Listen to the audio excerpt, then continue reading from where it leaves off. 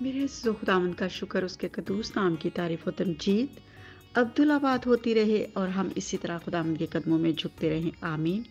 خداوند کا شکر ادا کرتے ہیں، اس نے آج ایک بار پھر ہمیں یہ موقع فراہم کیا ہے کہ ہم خداوند کے قدموں میں آ سکیں۔ تو میرے ساتھ دیکھیے گا وائس کی کتاب، اس کا پانچواں باب آٹھویں آیت سے لے کے بیسویں آیت تک ہم چند آیات کی تلاوت کریں گے، لیکن ہم اس میں سے بیسویں آیت تک کی دیکھیں گے۔ اور تھوڑے تھوڑے ٹائم کے بعد میں کوئی نہ کوئی آیت جو ہے وہ پڑھتی چلی جاؤں گی، لیکن ہم اس حوالے کو پورا تلاوت نہیں کریں گے۔ میں چند آیات شروع کی پڑھ لیتی ہوں آٹھویں آیت سے۔ اگر تم ملک میں مسکینوں کو مظلوم اور عدل و انصاف کو متروک دیکھے تو اس سے حیران نہ ہو کیونکہ ایک بڑوں سے بڑا ہے جو نگاہ کرتا ہے اور کوئی ان سب سے بھی بڑا ہے۔ زمین کا حاصل سب کے لیے ہے، بلکہ کاشتکاری سے بادشاہ کا کام بھی نکلتا ہے۔ زر دوست روپے سے آسودہ نہ ہوگا اور دولت چاہنے والا اس کے بڑھنے سے سیر نہ ہوگا۔ یہ بھی بتلان ہے جب مال کی فراوانی ہوتی ہے تو اس کے کھانے والے بھی بہت ہو جاتے ہیں اور اس کے مالک کو سوا اس کے کہ اسے اپنی آنکھوں سے دیکھے اور کیا فائدہ ہے۔ آگے کوشچن مارک میرے عزیز تو یہاں پہ خدا کا بندہ ایک سوال کرتا ہے۔ وہ کہتا ہے کہ جب ملک میں مسکینوں پر ظلم و ستم ہوتا ہے، بے انصافی ہوتی ہے، ان کو انصاف نہیں ملتا، تو یہ ایک تکلیف دہ صورتحال ہے، کیونکہ لوگ بھول جاتے ہیں کہ ان کے اوپر بھی کوئی بڑا ہے جو نگاہ کیے ہوئے رکھتا ہے۔ اور میں اس بات پر غور کر رہی تھی کہ یہ بالکل حقیقت پر مبنی ہے کہ جب ہمیں کوئی رتبہ ملتا ہے، جب ہمیں کوئی عہدہ ملتا ہے، جب ہمیں کوئی ایسا بڑا عہدہ مل جاتا ہے جب ہم اقتدار میں آ جاتے ہیں۔ صحیح لفظ یہ ہوگا کہ ہم اقتدار میں ہوتے ہیں یا ایک بڑی اچھی پوسٹ ہمیں مل جاتی ہے تو ہم چھوٹوں کو کچھ بھی نہیں سمجھتے بلکہ انہیں لتاڑنے کی کوشش کرتے ہیں، انہیں ان پر ظلم کرنے کی کوشش کرتے ہیں، ان کی بے انصافی کے ساتھ، ان کے ساتھ چلنے کی کوشش کرتے ہیں۔ تو یہ تین پوائنٹ جو ہیں ہمیں اس حوالے میں ملیں گے۔ آٹھویں آیت سے لے کے بیسویں آیت تک، پہلا پوائنٹ جو ہے وہ عوامی ناانصافی ہے۔ ملک کی بات ہو رہی ہے کہ ملک میں ظلم و ستم ہے، بے انصافی ہے، لیکن لوگ سب کچھ بھولے پڑے ہوئے ہیں، کیونکہ ان کو یاد ہی نہیں کہ اوپر بھی کوئی ہے ان کو دیکھنے والا۔ تیسرا پوائنٹ جو ہے اس میں ہے، وہ بڑا تکلیف دہ ہے اور وہ ہے تکلیف دہ دولت۔ بہت زیادہ دولت ہے آپ کے پاس، بہت کچھ ہے آپ کے پاس، روپیہ، پیسہ ہے۔ مال کی فراوانی ہے۔ لیکن کیا ہے جو زر دوست ہے، جو روپے پیسے کو پیار کرنے والا شخص ہے، وہ کبھی سیر نہیں ہوتا۔ اس کی آنکھیں کبھی بس نہیں کہتی، بلکہ وہ کہتی ہے، اور لاؤ، اور ہو اور ہو میرے پاس۔ لیکن خدا کا بندہ یہاں پر سکھاتا ہے کہ جب مال کی فراوانی ہو جاتی ہے اور کھانے والے بھی بہت ہو جاتے ہیں، تو تب جو اس کا مالک ہے، اس کو اس سے کیا حاصل ہے؟ کچھ بھی تو نہیں، کتنا کھائے گا؟ کتنا روپیہ پیسہ خرچ کرے گا؟ کیا کچھ کر لے گا؟ سوائے اس کے کہ وہ اپنے مال کو دیکھتا رہے، کیونکہ اس کے پاس تو اب خرچ کرنے کے لیے جگہ ہی نہیں، کیونکہ اتنا مال ہے اس کے پاس۔ اس کو سمجھ ہی نہیں آتی کہ میں کہاں پر خرچ کروں۔ آپ نے دیکھا ہوگا بڑے بڑے لوگوں کو جب ہم ارد گرد نیوز میں دیکھتے ہیں یا ارد گرد کے حالات کو دیکھتے ہیں کہ لوگوں کے پاس پیسہ خرچ کرنے کے لیے کچھ ایسا ہے نہیں کہ وہ کہاں پہ پیسہ خرچ کریں۔ ان کو کوئی موقع یا کوئی ایسی چیز نہیں ملتی جس پر وہ خرچ کرے کیونکہ وہ سب کچھ لے چکے ہیں۔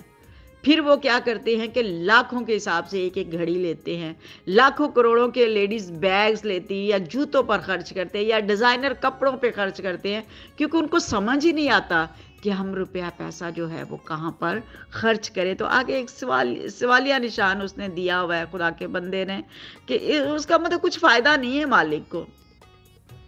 بس وہ اپنی آنکھوں سے اسے دیکھ سکتا ہے اور کچھ بھی نہیں ہے۔ آگے چل کے بارہویں آیت میں لکھتا ہے کہ محنتی کی نیند میٹھی ہے، خواب وہ تھوڑا کھائے، خواب بہت، لیکن دولت کی فراوانی دولت مند کو سونے نہیں دیتی۔ وہی بات جو پہلے ہم کر رہے ہیں کہ دولت انہیں بے قرار رکھتی ہے۔ کلب، ڈسکو، عیاشی، رات بار کے نشے اور اس طرح کی چیزیں ان کو بے چین و بے قرار رکھتی ہیں اور یہ سب کچھ کر کے بھی انہیں چین نہیں آتا۔ کیونکہ پیسہ یا روپیہ یا مال انسان کو سکون نہیں دے سکتی، بلکہ سکون صرف ملتا ہے خدا مند کے قدموں میں۔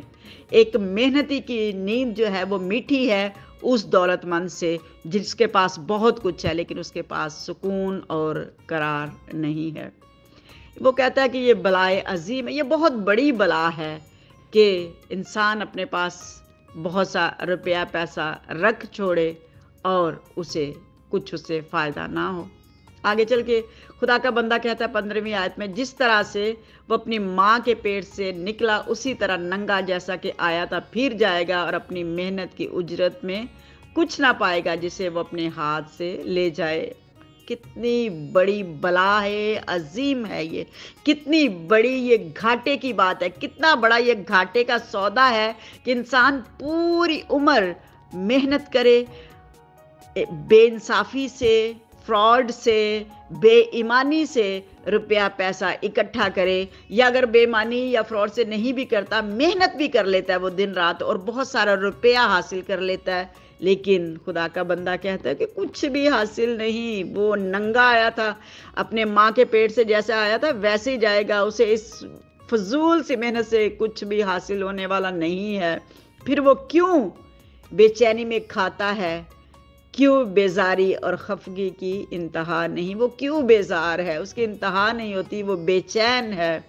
میرے عزیزو، دولت انسان کو خوشی نہیں دیکھ سکتی، اس لیے کلام میں لکھا ہوا ہے کہ امیر ہونے کے لیے جلدی نہ کرو، نہ بڑے بڑے منصوبے بناؤ، کیونکہ خداون جو آپ کو عطا کرتا ہے، وہ اس سے بہتر ہے جو ہم کسی بھی طرح کی بے انصافی سے حاصل کرتے ہیں۔ سو وہ کہتا ہے کہ انسان کا بکرا یہی ہے کہ جو کچھ خدا نے اسے دیا ہے بکرا مینس حاصل، اس کا یہی ہے کہ جو کچھ خدا نے اسے دیا ہوا ہے، اسے کھائے، پیے اور اپنی محنت سے شادمان رہے۔ جو اس کی محنت ہے، اسے تھوڑا بھی مل رہا ہے، تو وہ اس میں شادمان رہے اور اپنے ہاتھوں کی کمائی سے لطف اٹھائے، مزہ اٹھائے، خوش رہے اور بہت کے پیچھے نہ بھاگے۔ بیسویں آیت میں لکھا ہے بس وہ اپنی زندگی کے دنوں کو بہت یاد نہ کرے گا، اس لیے کہ خدا اس کی خوش دلی کے مطابق اس سے سلوک کرتا ہے۔ سلیمان سے زیادہ کون اس بات کو سمجھ سکتا ہے؟ میرے عزیزوں چھوٹی عمر میں اسے قوم بنی اسرائیل کا بادشاہ بنا دیا گیا اور وہ اس بات کو سمجھتا ہے، وہ پریشان ہو جاتا ہے کہ میں اتنی بڑی قوم کا کیسے انصاف کروں گا؟ خدا نے اس سے کہا کہ تو مانگ کیا مانگتا ہے؟ اس نے دولت نہیں مانگی، اس نے روپیہ پیسہ نہیں مانگا، بلکہ اس نے مانگا تو کیا مانگا؟ وزڈم کو مانگا، عقل کو مانگا کہ خداوند خدا، تو مجھے عقل دے، تو مجھے وزڈم دے۔ کیونکہ تب ہی میں بادشاہ کے رتبے کو نبھا پاؤں گا، بادشاہ کے طور پہ کام کر پاؤں گا۔ کیونکہ دولت سے میں کوئی انصاف کی بات نہیں کر سکتا، کیونکہ دولت کا کچھ فائدہ ہونے والا نہیں، کیونکہ وہ ایک بادشاہ کا بیٹا تھا، بہت کچھ تھا اس کے پاس، کس چیز کی کمی تھی، اس نے سب کچھ دیکھ لیا کہ اس کا باپ بھی بادشاہ ہے، بہت کچھ ہے اس کے پاس، لیکن اس کے پاس بھی چین و قرار نہیں تھا۔ کیونکہ بہت سارے مسائل تھے۔ اسی لیے وہ کہتا ہے کہ مجھے دولت نہیں چاہیے خدا مند مجھے عقل چاہیے، کیونکہ دولت، زر، روپیہ، پیسہ مجھے آسودہ نہیں کر سکتا، مجھے سیر نہیں کر سکتا۔